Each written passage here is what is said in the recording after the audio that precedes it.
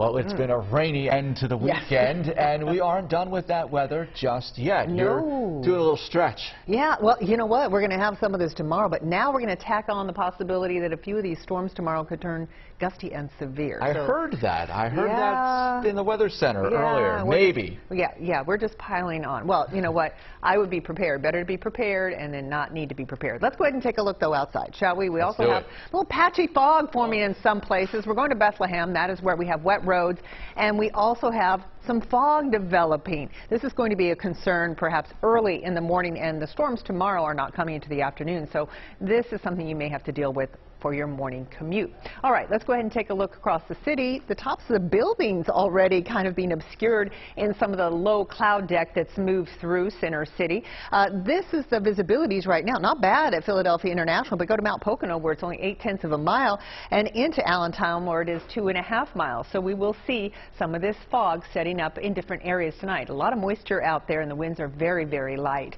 Uh, 74 right now in Philadelphia. That's about as warm as we've been all day long. Didn't make it out of the 70s. Some places didn't make it out of the 60s today. 65 right now in Allentown and Millville. You're looking at 73 degrees in South Jersey. Now, Tomorrow, we're going to tack on to the rain and the possibility of those afternoon storms, the chance of some of them turning severe. This is going to be in the mid to late afternoon through the mid to late evening.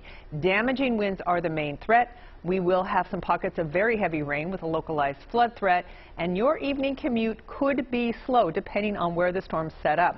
This is the outlook. It is a marginal risk, which is level one out of five, so it doesn't sound too great. Nonetheless, we have a very soupy atmosphere, and we have a cold front coming at us tomorrow in the afternoon.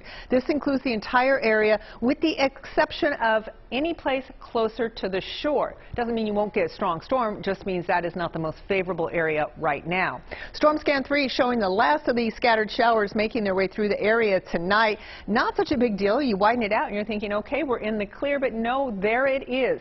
You can see that swirl over Chicago, and then you can actually see a line extending on out through Ohio. That's the cold front, which has been parked in the upper Midwest for days. Finally, everything has shifted east, and it is released to come our way. Storm Scan 3, this is our um, water vapor imagery, and you can see the orange, which is very, very dry air. Then you see these blues and whites, which is very, very moist air. You can make out the swirl of that storm system, and you see them butting up against each other. That is the recipe for something strong to happen. So let's roll through what is going to happen. The remainder of the night, a spotty shower storm, that's out of here. We're going to be looking at skies fairly cloudy tomorrow, but here we go in the afternoon. 3.30, storms already popping up. The cold front approaches 5.30, storms are popping up, some of them severe. 7.30, still looking at storms in Philadelphia and South Jersey, and then down the shore by the time that we get to uh, late night. And then look at this. Tuesday we start with clouds, but here's the good news. We're going to clear out and get the sunshine back. So it's just eyes to the sky tomorrow in the afternoon and evening. 83 tomorrow, 81 on Tuesday as we clear out, and then a stretch of upper 70s and low 80s with a lot of sunshine to follow. Joe? Tammie, thank you so much.